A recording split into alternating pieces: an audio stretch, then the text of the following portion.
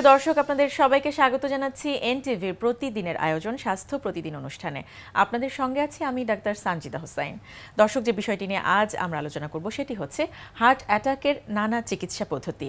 এই বিষয়টি নিয়ে আলোচনার জন্য আমাদের স্টুডিওতে আজ উপস্থিত আছেন যে বিশেষজ্ঞ চিকিৎসক, চলুন পরিচিত হয়ে তার সাথে। অধ্যাপক ডাক্তার হারিসুল হক উনিশশো বাষট্টি সালের ২০ জানুয়ারি কিশোরগঞ্জ জেলায় জন্মগ্রহণ করেন। তিনি উনিশশো ছিয়াশি সালে চট্টগ্রাম মেডিকেল কলেজ থেকে এমবিবিএস ডিগ্রি অর্জন করেন। এরপর তিনি চিকিৎসা বিজ্ঞানে উচ্চতর এমডি ডিগ্রি লাভ করেন। বর্তমানে তিনি বঙ্গবন্ধু শেখ মুজিব মেডিকেল বিশ্ববিদ্যালয়ে কার্ডিওলজি বিভাগের হার্ট ফেলিউর ডিভিশন প্রধান হিসেবে কর্মরত। স্যার স্বাগত জানাচ্ছি। ধন্যবাদ। যেটি আজকের বিষয় যে হার্ট অ্যাটাকের বিভিন্ন ধরনের চিকিৎসা পদ্ধতি এবং মোটামুটিভাবে অনেকেই কিন্তু কম বেশি জানেন যে আসলে হার্ট অ্যাটাকের চিকিৎসা পদ্ধতি কি কি রয়েছে। কিন্তু তার আগে স্যার আমি যদি একটু জানতে চাই যে হার্ট অ্যাটাক বলতে আসলে কি বোঝানো হয়? খুব সংক্ষেপে যদি আমি ধন্যবাদ খুব সুন্দর বলেছেন আপনি। আমাদের শরীরে রক্তনালী ছড়িয়ে ছিটিয়ে আছে চতুর্দিকে ব্রেন থেকে শুরু করে পায়ের নখ পর্যন্ত সব জায়গায়। তো হার্ট সব জায়গায় রক্ত দেয় ও একটা পাম্পিং অর্গান। পাম্প করে রক্ত উপরে দেয় নিচেও দেয়। তো তার আবার নিজেরও রক্ত সঞ্চালন দরকার হয়। তো মহাধমনে যেটা হাট থেকে বেরিয়ে যায় সেখান থেকে রক্তনালীগুলি বেরিয়ে আসে এবং হাটের সমস্ত মাংসের মধ্যে সে বিভিন্ন শিরা উপশিরা তৈরি করে করে রক্তগুলি পাঠাতে থাকে। তার রক্তনালীতে ছোট রক্তনালী কিংবা বড় রক্তনালীতে বিভিন্ন রকমের ব্লক তৈরি হতে পারে। এই ব্লকগুলি তৈরি হয় আমরা যা খাই আমাদের যে দৈনন্দিন জীবন যাপন হ্যাঁ সেখান থেকে অনেক রকম ময়লা পার্টিকুলার কোলেস্টেরল পার্টিকেল কার্বোহাইড্রেট যেগুলি খাই আমরা ট্রাইগ্লিসারাইড বলে একটা চর্বি জমা হয়ে সেটা এবং বিভিন্ন রকম ইনফেকশন হয়ে বা ধূমপান তামাক পান অ্যালকোহল এগুলি খেলে রক্তনালীগুলি ড্যামেজ হয়ে যায় তার গায়ে ময়লা জমতে জমতে পুরো একটা আস্তরণ হয়ে যায়। তখন স্বাভাবিক যে ফ্লো থাকে। থাকে সেটা থাকে না। ফলে সংকুচিত রক্তনালী দিয়ে যখন রক্ত যেটুকু যাওয়া দরকার সেটুকু যখন যায় না তখন একটু কাজ করলেই তখন বুকে ব্যথা হয়। সেটাকে আমরা বলি যে তার ইস্কেমিয়া। অর্থাৎ যেটুকু একশো টাকা দরকার আপনি ইনকাম করছেন ষাট টাকা চল্লিশ টাকার জন্য প্রবলেম হচ্ছে। তাহলে এইটুকুকে আমরা বলি ডিমান্ড বেড়ে যাচ্ছে কিন্তু সাপ্লাই দিতে পারছি না। চমৎকার শব্দ বলেছেন এটা আমরা বলি সাপ্লাই ডিমান্ড হ্যাঁ প্রপোর্শনে যখন ইমব্যালেন্স হয় তখনই ব্যথা শুরু হয়ে যায়। এটাকে বললাম আমরা ইস্কেমিয়া। এখন যদি আমি ধরে নিই এই যে ব্লকটা ছিল একটা ব্লক হয়ে গেল যে এটা একটা রক্তনালী এখানে সিগারেট খেয়ে অ্যালকোহল খেয়ে বিভিন্ন ইনফেকশনের কারণে এই জায়গায় একটা ঘা হলো। সেখানে কোলেস্টেরল জমলো বিভিন্ন ফাইবার জমলো তারপরে আস্তে আস্তে তার উপরে একটা আবরণ পড়ল। এটা দীর্ঘদিন চুপচাপ ছিল। এটাকে বলি আমরা ক্রনিক স্ট্যাবল প্লাক স্ট্যাবল নড়াচড়া করছে না। স্ট্যাবল হলে কোনো আপত্তি নেই। থাকুক এভাবে আমি মরেই গেলাম কোনো খবর হবে না। কিন্তু এটা যদি আনস্টেবল হয়ে যায় যে কোনো কারণে দেখা গেলো একটু খোঁচা দিয়ে এখানে খোঁচাটাকে দিতে পারে? ওখানে ছুরি কাচি নিয়ে কেউ বসা নাই। ছুরি কাচি আমি আপনি তৈরি করি। ভাত প্রচুর খেলাম। আমার ডায়াবেটিস আনকন্ট্রোল আমার প্রেশার আনকন্ট্রোল তাহলে এরাই করবি কি? রক্তের প্রবাহকে বারে বারে ধাক্কা দিয়ে থাকবে। তখন এটা আস্তে আস্তে করে এরকম ছিল এটা এরকম ফিশার তৈরি করবে ফিশার খাঁজ। তারপরে এক সময় খাট করে ছুটে যাবে। ছুটে ধাম করে রক্তনালী বন্ধ করে দিবে। তখনই প্রচণ্ড বুকে ব্যথা ফিট হয়ে গেলেন অজ্ঞান হয়ে গেলেন নিয়ে আসলো হাসপাতালে তখন আমরা ইসিজি করলাম। দেখলাম তাকে রক্তনালী বন্ধ হওয়ার যে লক্ষণগুলি সেগুলি উদ্ভাসিত হয়ে যাচ্ছে। ওইটাকে ওটাকে বলি আমরা এসটি এলিভেটেড এমআই সেক্ষেত্রে আমরা রুগীকে একদম আধুনিক চিকিৎসা যেটা আমরা ঢাকায়ও করি আমরা ক্যাথলেবে নিয়ে যাই। ক্যাথলেবে নিয়ে তাকে এনজিওগ্রাম করি। এনজিওগ্রাম। এনজিওগ্রামের কথায় স্যার একটু প্রশ্ন আসছে আমার মাথায় যে এনজিওগ্রামটি আসলে কি? কারণ এই এনজিওগ্রামের কথা যখন আপনি রোগীদেরকে বলেন তারা কিন্তু একটু ভয় পেয়ে যায় এনজিওগ্রাম করতে হবে এখনই অপারেশন বা কি? আসলে একটু যদি চমৎকার প্রশ্ন করেছেন।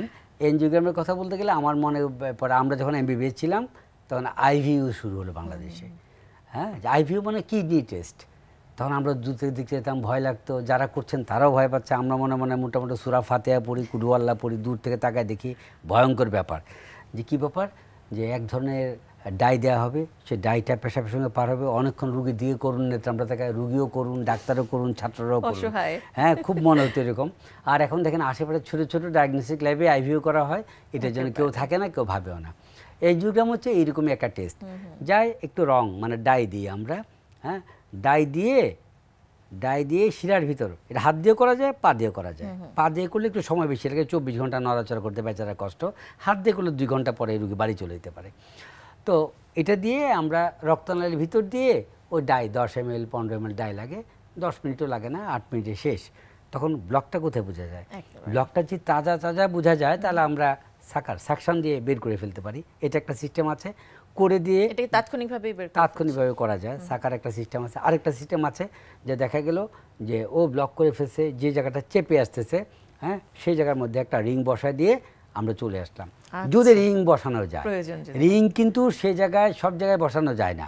এনজিওগ্রাম করলাম এনজিওগ্রাম একটা টেস্টের নাম। আপনি যেমন এক্স রে করেন হার্ট তো এক্স রে করলে খালি দেখা যায় হার্টের একটা সাইজ হার্ট বড় ছোট হার্ট নাই আছে। এই চারটে বিষয়ে আর কিছু বোঝা যায় না। রক্ত নিলে বুঝতে গেলে এইটা বুঝতে গেলে ওই যে এক্সরেটা করতে হয় সেই এক্সরেটা হলো এনজিওগ্রাম ওকে? করোনারি আর্টারিওগ্রাম মানে করোনারি আর্টারিওকে গ্রাম করার জন্য এটা। গ্রাম মানে গ্রাফি ছবি তোলার জন্য এটা করা হচ্ছে। ফলে এটা জাস্ট আমি বলি হার্টের এক্সরে আর কিচ্ছু না। ভেরি সিম্পল এটা করার পরেই কিন্তু চিকিৎসাটা আমরা শ্রেণীবিন্যাস করি। এবং প্রথম কথা এনজিওগ্রাম করার পর আমরা চিন্তা করি যে এখানে কিছু করার দরকার আছে কিনা। যদি দেখি না কিছুই করার দরকার নাই এরকম অনেক কেস আমরা পাই যে স্পাজম বলি আমরা। স্পাজম কীরকম? স্পাজম হলে সেটা যে আপনি সাপ দেখলেন। ভয় লাগল বুকে চিপা মারলো পরীক্ষার রেজাল্ট বেরোচ্ছে পাস না ফেল অনেক আমার এক বন্ধু ছিল চোখ বন্ধ করে রাখতো তুই দেখতো ছয়শো সাতাশ কত। হ্যাঁ মানে পাস না ফেল ওর বুকে নাকি চিপা দেয়। ওই বুকে চিপা যেটা দ্যাট ইজ দ্য স্পাজম ওই স্পাজম হ্যাঁ হৃদরোগের একটা অন্যতম প্রধান কারণ। যদি স্পাজম হয় আমরা সেখানে কিছুই করতে পারি না। না। আমরা রিংও দিব না তারপর বাইপাসও করব না। তারপরে যখন ক্ষত নির্ধারিত হয় তখন আমরা অ্যানালিসিস শুরু করি হ্যাঁ? যে এটা কি রিং করা যাবে কি না? রিং করে ভালোর চেয়ে ক্ষতি হবে। তখন সিদ্ধান্ত হয় আর কিছু করা যায় কি না? বাইপাস করলে উপকার হবে। বাইপাস করলে উপকার কিন্তু বাইপাস করা যাবে কিনা এটা বোঝার জন্য তখন আমরা আরেকটা ছবি নিয়ে রাখি দুইটা রক্তনালী বুকের মধ্যে আছে। আচ্ছা। যে ওরা ঠিক আছে কিনা ইউজুয়ালি ওরা ঠিকই থাকে। বিধাতা এত নিষ্ঠুর না। হ্যাঁ তাও নিয়ম হলো যে তুমি দেখে রাখো ছবি তুলে রাখো ছবি তুলে রাখি। তখন আমরা বলি কি যে আপনার বাইপাস করতে হবে। আচ্ছা। তখন আমরা রুগীকে রাখি ওষুধপত্র দিয়ে রাখি তারপর বাইপাস এনজিওগ্রাম করার সময় তো রোগী রিং নিয়ে খুব সচেতন হয়ে যান এটা নিয়ে খুব মজার ব্যাপার। দাঁড়াচ্ছে অনেক রুগী এসে আমাদের বলেন যে স্যার কটা রিংয়ের টাকা নিয়ে আসব? তখন আমরা বলি যে এই রিংয়ের টাকা আপনি কেন নিয়ে? আগে করে দেখি না কি কিছু আছে কি না হ্যাঁ যেমন গত সপ্তাহে আমার ইউনিটে ভর্তি হলে একজন রুগীরও বাইপাসের জন্য পাঠানো না রিংয়ের কথা উঠে নাই। কারণ দেখা গেলো কি তিরিশ পার্সেন্ট চল্লিশ পার্সেন্ট রোগ মানে তাদের স্পাজম হয়। ওদেরকে কাউন্সিলিং করা হয়েছে ভাই হ্যাঁ আপনি এত দুশ্চিন্তা করেন কেন এটা করবেন এটা করেন নিয়ম কানুন এটা ওষুধ দিয়ে তিন মাস পরে আসতে বলছে। হয়ে রিংটা তাহলে আসলে কখন দরকার স্যার? কখন রিংটা হচ্ছে কি যে সব জায়গাতে লিশন মানে ক্ষত সব ক্ষতে লিশন দেওয়া যাবে না। জোর করে যদি আমরা সেখানে রিং বসাই দিই তার বরং সুবিধার চেয়ে ক্ষতি হয়ে যাবে। কীরকম? রিং রক্ষা করা খুব কঠিন ব্যাপার। তার ওষুধগুলি ঠিকমতো খেতে হবে অনেকগুলি টাকা তার চলে যাচ্ছে। মনে রাখতে হবে। নাম্বার টু থিংস যে রিং যেখানে দরকার নেই সেখানে যদি আমরা রিং বসাই তাহলে ওই যে ওই হার্ট ফেলিউর বলে একটা রোগ বললাম যে রোগের আমি ডিভিশনাল হেড যেটা আমি দেখি হ্যাঁ, হ্যাঁ। আমার কাজটা। অপ্রয়োজনে যদি রিং বসান অপ্রয়োজনে যদি বাইপাসও করেন আচ্ছা। হ্যাঁ তাহলে কিন্তু আপনি ঝামেলায় পড়ে যাবেন। অর্থাৎ সেইখানে সেই জায়গাটা খুব পরিষ্কার হতে হবে। আসলে আমার কি চিকিৎসা দরকার? এই জন্য সমস্ত পৃথিবীতে অপচিকিৎসা নিয়ে কথা উঠছে অপচিকিৎসার জন্য অনেক রুগীও কিন্তু খুব দায়ী। বারে বারে প্রেস করে স্যার ভালোটা দিয়ে আরে বাবা কী লাগবে আগে দেখি না। হ্যাঁ? হ্যাঁ তো এটা একটা বিষয়। রিং একটা modality it is not the treatment at all এটা একদম ভুল ধারণা। মানে এটা। এটা একটা অপশন লাগতে পারে নাও লাগতে পারে।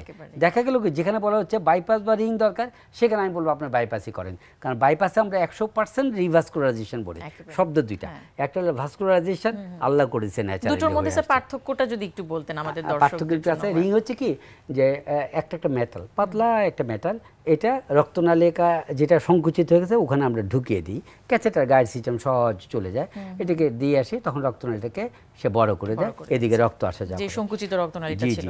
আর বাইপাস করে কি যেমন মনে করেন আপনি এখন যাত্রাবাড়ি দিয়ে যাবেন ওই জায়গাতে মাটি খোঁড়াখুড়ি হচ্ছে তখন করল কি সড়ক ও জনপদ বিভাগ একটা বাইপাস রোড করে দিলে যে ওই দিক দিয়ে যান। যখন অল্টারনেট হ্যাঁ, করে দিল বিকল্প পথ। ঠিক বিকল্প পথ। বিকল্প টেস্টে কিন্তু ভাস্কুলারাইজেশন বেশি হয় ভালো হয়। কারণ হয় কি যে আমি এন্ড টু এন্ড জোড়া লাগা দিলাম পরে রক্ত ডাইরেক্টলি ওদিকে চলে গেল। কিন্তু যখন আমি রিং বসাচ্ছি তখন যে জায়গাটা স্টিলটা পড়ছে ওই জায়গাটা রক্ত নিলে পাচ্ছে না সে। এখন কথা হচ্ছে যখন আমি যে ট্রিটমেন্টের কথা বললাম যে যখন হার্ট অ্যাটাক হলো তার এক দুই ঘণ্টার মধ্যে স্টেপটা নিলে খুব ভালো রেজাল্ট পাওয়া যায়। কিন্তু দুই দিন পরে তিন দিন পরে করতে গেলে কিন্তু অনেকগুলি বিচারের ব্যাপার আছে। কারণ হার্টের মাসল কিন্তু এক ঘণ্টা দেড় ঘণ্টা এক থেকে পাঁচ মিনিটের মধ্যে মরা শুরু করে এক ঘণ্টা পরে কিন্তু প্রচুর মরে যায়। তখন মরা খালি কি জোয়ার আসবে বান আসবে? আসার তো কথা না। তো এই জন্য ওইটার জন্য আবার একটা টেস্ট করাই আমরা। আচ্ছা। পারফিউশন ইমেজ যদি পারফিউশন ইমেজ বলে যে করানো যাবে। তাকে অন্য ট্রিটমেন্ট ট্রিটমেন্ট শুধু রিংয়ের কথা না বাইপাসের কথাও। আচ্ছা যে এখন যদি ওষুধ ছাড়া এবং নিয়ম ছাড়া অন্য কোনো ট্রিটমেন্ট করলে উপকার হবে তখনই কেবল বলার নিয়ম আছে। এবং স্যার এই ক্ষেত্রে কিন্তু আমরা দেখি আমাদের রোগীরা বিদেশে খুব যেতে চান এবং বিদেশের ডাক্তাররা যে যখন বলেন যে না ঠিক আছে আপনাকে অন্য কোনো চিকিৎসা আমরা করাবো না শুধু কয়েকটা ওষুধ দিয়ে দিব। যেখানে বাংলাদেশে সেটা বলেনি বা আপনার হার্টের অবস্থা খারাপ সেটা হয়তো বলেছে। বিভিন্নভাবে বাইরের ডাক্তারদের কাছ থেকে এভাবে বিভ্রান্তিমূলক কথাবার্তা বা কিংবা দেখা যায় কি একটা সমন্বয়হীনতা ঘটে যে বা রোগীরা অনেক সময় বোঝে না যে আসলে ডাক্তাররা কি বুঝিয়েছে। আসলে যে তার আসলে তখন কোনো কিছু দিয়েই কিছু হবে না। সেটি যে ডাক্তার মনে করছে সেটি কিন্তু অনেক সময় রোগীরা বুঝতে পারে না এবং এসে বলে যে ওইখানে তো আমি গেছি আমাকে তো কোনো কিছুই করায় নাই। শুধু বলছে জীবন প্রণালী ঠিক করলে আমি ঠিক হয়ে যাব। এই বিষয়গুলো সম্পর্কে স্যার একটু আমরা পরিষ্কার জান যে এই যে বিভ্রান্তিমূলক একটা অবস্থা রোগীদের জন্য এবং বাংলাদেশের ডাক্তারদের জন্যও আহ, এই বিষয়টাতে আসলে আপনার আপনি খুব চমৎকার প্রশ্ন করেছেন। আপনি যে প্রশ্ন তৈরি করেছেন এখানে কতগুলো নৈতিকতা এবং লেখাপড়া করার ব্যাপার স্যাপার এখানে খুবই জড়িত। আমার কাছে কদিন আগে কদিন আগে গত তিন চার পাঁচ দিন আগে এক ভিভিআইপি রুগী এসে হাজির হলেন। তো আমি উনি পনেরো বছর আগে রিং বসিয়েছিলেন তিনটা। তারপর উনি ভালোই ছিলেন, উনি আর ডাক্তার কাছে যান না, ওই ওষুধ খাচ্ছেন, মাঝে মাঝে খায়, মাঝে মাঝে খায় না। এর মধ্যে উনি ইন্ডিয়া বেড়াতে গেছিলেন, সেখানে গিয়ে টেস্ট করালেন। টেস্ট করানোর পর দেখা গেলো হার্টের অবস্থা খুবই খারাপ। হার্টের পাম্পে পাম্পিং অ্যাক্টিভিটি কমে গিয়ে চব্বিশ, পঁচিশ হয়ে গেছে। আমি হার্ট ফেলের ডাক্তার। উনি ইন্টারনেট ফিন্টারনেট ঘাটাঘাটি করে ওখানে কে কে জানে আমার কথা বলছে ঢাকায় গেলে ওনাকে দেখাবেন। তো উনি ওই জন্য এসেছেন আরেকজনের রেফারেন্সে তা আসার পরে দেখলাম যে ইন্ডিয়ার যত নাম করা বড় বড় ডাক্তার সার্জন যারা এই রোগের না ইন্টারভেনশন কার্ডিওলজি তার কাছেও গেছেন। তারা এই রোগ বোঝার কথাও না। উনি যে রোগে এখন আক্রান্ত। আমি খুব বিস্ময়ে মানে তাকালাম যে ওনারা যেটা এই রোগ বোঝেন না তারা সে রোগের চিকিৎসা দেওয়ার চেষ্টা করছেন এবং ওষুধগুলি সঠিক না। যেমন নতুন গাইডলাইন আমরা তো গাইডলাইন ফলো করব। যে গাইডলাইন একটা গাইডলাইন মুসলমান তুমি কোরআন হিন্দু তুমি বাইবেল এরকম একটা ব্যাপার। তো আমরা গাইডলাইন খুব ফলো করি। আয়দার আমেরিকান কিংবা ইউরোপিয়ান একটা গাইডলাইন তো ফলো করতে হবে। হার্ট ফেলিউর একদম মোটা মোটা গাইডলাইন বের হয় কদিন পর পর দিস্তা দিস্তা কাগজ প্রিন্ট করে পড়তে হয়। এখানে স্পষ্ট বলা আছে এটা তুমি দিবা না এটা অবস্থা দিবা না এটার জন্য তুমি টেস্ট করো। ছাত্রদেরকে ধরে ধরে বলা খবরদার দিবা না। এইসব বেসিক জিনিস দেখা গেলো সো কল খুব নাম যাদা ডাক্তার এরকম করে।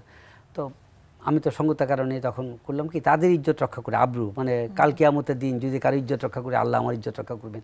এই বিশ্বাসে ওইসব ওষুধ বাদ দিলাম। উনি খুব সচেতন লোক। বলে এটা বাদ দিলেন এটা বাদ দিলেন। তখন আমি খুব এক ধরনের প্রহসন তৈরি করলাম যে ভাই যখন দরকার ছিল তখন এখন আপাতত দরকার নেই আমরা এতদিন পরে টেস্ট করে আবার দেখব। এখন তাহলে বিষয় দাঁড়াচ্ছে যে উনি তো জানেন না এই সাবজেক্ট সম্বন্ধে। উনি এই রোগের চিকিৎসা করতে গেলেন কেন? প্রথম কথা। তাহলে উনি কি মনে করেন এতই সহজ? তাহলে ব্যাপারগুলো এত সহজ না। হৃদরোগ এত বড় যে প্রত্যেকটা জিনিস ভাগ করতে করতে প্রত্যেকটা চ্যাপ্টারে আলাদা ডিপার্টমেন্ট হয়ে গেছে। এক ডিপার্টমেন্টের লোকের অন্য ডিপার্টমেন্টে হাত দেওয়াটা ঠিক না। যে ওষুধ আপনার জন্য একজন রোগীর জন্য হিতকর ঠিক ওই কন্ডিশনের জন্য খুব অহিতকর। যেমন অ্যান্টি কোলেস্ট্রল ড্রাগ অবশ্যই ডিপেন্ড করে রোগীটির সিচুয়েশনের যেমন এই রোগীটা হার্ট ফেলের উপর ডিপেন্ড করে। হার্ট ফেলের রোগের স্টেটিন দেওয়ার নিষেধ একদম বারণ মায়োপ্যাথি মানে মাসেল উইক হয়ে গেছে। মানে আপনি ডাক্তার নিজে বুঝতে পারছেন সেখানে। সেখানে স্টেটিন দিয়ে আরও মায়োপ্যাথি করা যায়। তাকে টোয়েন্টি মিলিগ্রাম দিয়ে রাখছে। আমি আকাশ থেকে বললাম যে ও রুগী তো এমনি মরে যাচ্ছে সেটাই আস্থার জায়গাটুকু আনতে হবে আমাদের হ্যাঁ। তো এখন কথা হচ্ছে কি শুধু আমার দেশে আস্থা কেন? এই কথাটা আমি জানাতে চাই মিডিয়াতে। সমস্ত পৃথিবীতেই এখন এরকম একটা নৈরাজ্য চলতেছে। আমরা সবাই অস্থির হয়ে গেছি। যে যার কাজটা বুঝি না সে সে কাজ করতে চায়। এটা একটা প্রবলেমের ব্যাপার। এখানে রুগীদের একটা ব্যাপার আছে খোঁজ খবর নিয়ে যেতে হবে। উনি আসলে কিসের ডাক্তার? তার কাছে যাওয়া দরকার। এবং উনি যদি অন্য রোগের প্রেসক্রিপশন করে আমার মনে বলে ফেলা উচিত স্যার আপনি তো এই রোগের ডাক্তার না। আমি এই রোগের জন্য ওনার কাছে যাব। একেবারে দ্বিধাহীনভাবে বলা উচিত। আমরা অনেক সময় চিন্তা করা হয় যে শরীর চর্চা বা ব্যায়াম হয়তো খুব প্রয়োজনীয় না শুধু হাঁটতে পারলেই হলো। কিংবা আসলে এই বিষয়টা নিয়ে অনেকে বিভ্রান্তিতে আছেন যারা হার্টের রোগী। তাদের ক্ষেত্রে আসলে কোন জিনিসটা বেশি খুব উপকারী? ভালো প্রশ্ন করেছে। কার্ডিয়াক রিহেবিলিটেশন ওই ডিপার্টমেন্টেরও আমি হেড হ্যাঁ কার্ডিয়াক আমাদের দেশে এখনও ডেভেলপ করে না আমি চেষ্টা করছি এটাকে ডেভেলপ করতে। সমস্ত পৃথিবীতে ডেভেলপ করতে খুব ইম্পর্টেন্ট আমরা রিসার্চে করছি। কার্ডিয়াক রিহেবিলিটেশন খুব ইম্পর্টেন্ট যে একটা রুগী হার্টের রুগী কোন রোগে কি হাঁটতে পারবে? আমি বড় রিসার্চ পেপারও রেডি করছি এর উপর। যেমন ধরেন যার এন্টারিয়ামায় বলে আমরা বড় হার্ট অ্যাটাক হয়ে যায় তাকে আমরা বলি পাঁচ দিন পরে আমরা হার্ট মানে পুরো বাইরে যেতে বলি। তিন দিন পরে বিছানার আশেপাশে ঘুরতে বলি। চার দিনের দিন আমরা বলি হাসপাতালের করিডোরে ঘুরে বেড়ান। এবং দুই হাত ঝুলিয়ে ঝুলিয়ে উনি হাঁটবেন ওকে পাঁচ দিন পরে ধুমসে হাঁটবেন সাত দিন পরে উনি গাড়িও ড্রাইভ করতে পারবেন পনেরো দিন পরে অফিসে যেতে পারবেন এবং মাঠে গিয়ে হাঁটাহাঁটি করতে পারবে ক্লিয়ার আবার মনে করেন যদি একজন বাইপাস করেন তাকে পনেরো দিন পরে সাত দিন পরে বলব আমরা ঘরে হাঁটাহাঁটি করুন এটা করুন তিন দিন পরে বলব বিছান থেকে নামুন? তো এগুলি আমরা ভাগ করে করে ভাগ করে দিচ্ছি এখন আপনি যে প্রশ্ন করলেন কদ্দূর কি কত কত ম্যাট যেতে পারবে আমরা এই হিসাবে বা কত ব্লক যেতে পারবে। এগুলি বিভিন্ন রোগের উপর ডিপেন্ড করে। যেমন ধরেন যদি কারও মাইটাল স্ট্যানোসিস থাকে আমাদের দেশে বাত জ্বর খুব কমন বাত জ্বর হয়ে যে মাইটাল ভাল্ব যদি এফেক্টেড হয় তার যদি আমরা ভাল্বটা রিপেয়ার করি তাকে যে সময় একটু সময় নিয়ে আমরা চলাফেরা করতে বলি হ্যাঁ? কিন্তু আরেকটা রোগী যার বাত জ্বর ছিল না কিন্তু মাইটাল ভাল্ব আমরা রিপেয়ার করে দিলাম তাকে কিন্তু দুদিন পরে হাঁটতে বলব। আপনি যে কথা বলছিলেন যে এটা অবস্থা অনুযায়ী আমরা উপরে। রিহেবিলিটেশন সিস্টেম রিহেবিলিটেট করি। কদিন পরে কাজে যাবেন তাহলে অবশ্যই ডাক্তারদের বা চিকিৎসকদের। পরামর্শ এবং অনুযায়ী এটার জন্য কিন্তু ফিজিক্যাল মেডিসিন আলাদা ডিপার্টমেন্ট আছে। স্যার তাহলে আসলে খাদ্যাভ্যাসের ভূমিকা রয়েছে অনেক অনেক বেশি অনেক বেশি। শাকসবজি যত বেশি খাবেন হৃদরোগ থেকে তত বেঁচে থাকবেন প্রেশার কন্ট্রোল হবে ক্যান্সারের সম্ভাবনা কমে যাবে কোলেস্ট্রল লেভেল ভালো থাকবে বডিতে পটাশিয়াম সাপ্লিমেন্টেশন পাবেন শরীর ঠান্ডা থাকবে ব্রেন ঠান্ডা থাকবে চোখও ভালো থাকবে। একেবারে। স্যার অনেক অনেক ধন্যবাদ চমৎকার কিছু তথ্য এবং পরামর্শ শুনলাম আপনার কাছ থেকে ধন্যবাদ আপনাকে। দর্শক, আমরা শুনছিলাম হার্ট অ্যাটাকের চিকিৎসা পদ্ধতি এবং কোথায় গেলে আসলে এর সঠিক পদ্ধতি রয়েছে সেগুলো আমরা পাবো। আমাদের দেশেই বিশ্বমানের চিকিৎসা পদ্ধতি কিন্তু খুব সুন্দরভাবে, সফলভাবে হচ্ছে। এই আস্থার জায়গাটুকু অবশ্যই আমাদের নিয়ে আসতে হবে। এখন চলুন দেখে নেই আগামী পর্বে কি থাকছে আপনাদের জন্য স্বাস্থ্য প্রতিদিনে। অস্টিওআর্থ্রাইটিস হচ্ছে আমাদের, আমরা যদি সাধারণ বাংলায় বলতে পারি যে এটা হচ্ছে একটা ক্ষয় রোগ। মানে গিরার ক্ষয়ের কারণে হয়ে থাকে একটু বিভিন্ন গিরা আক্রান্ত করে। করোনা ভাইরাস প্রতিরোধে করণীয়। হাঁচি ও কাশি দেওয়ার সময় টিস্যু অথবা জামার হাতা দিয়ে মুখ ঢেকে রাখুন। এরপর সেই টিস্যু ডাস্টবিনে ফেলে সাবান বা হ্যান্ড স্যানিটাইজার দিয়ে নিজের হাত পরিষ্কার করুন। হাঁচি বা কাশি আটকাতে কখনোই নিজের হাত বা কোনোই ব্যবহার করবেন না। সাবান ও পানি দিয়ে বারবার হাত ধুয়ে ফেলুন। সাবান ও পানি কাছে না থাকলে হ্যান্ড স্যানিটাইজার বা হাত জীবাণুমুক্ত করার জেল ব্যবহার করুন। হাত পরিষ্কার না থাকলে চোখ, নাক ও মুখ স্পর্শ করা থেকে বিরত থাকুন। অসুস্থ লোকজনের ঘনিষ্ঠ সংস্পর্শ এড়িয়ে চলার চেষ্টা করুন।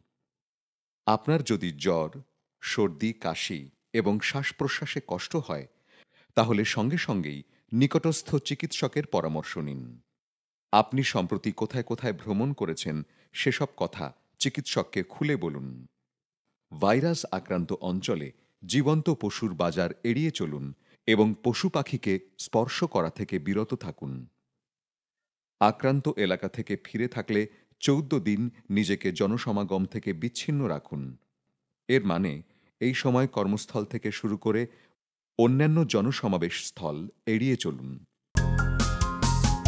বিশ্বের যে কোনো প্রান্ত থেকে যে কোনো সময় আপনার পছন্দের অনুষ্ঠান, স্বাস্থ্য প্রতিদিন দেখতে ভিজিট করুন আমাদের পূর্ণাঙ্গ web portal W W dot dot কমে এছাড়াও এনটিভি জনপ্রিয় সব অনুষ্ঠান ও খবরের আপডেট জানতে ভিজিট করুন আমাদের ইউটিউব ও ভেরিফাইড ফেসবুক পেজ আজ এই পর্যন্তই সবাই ভালো থাকুন, সুস্থ থাকুন।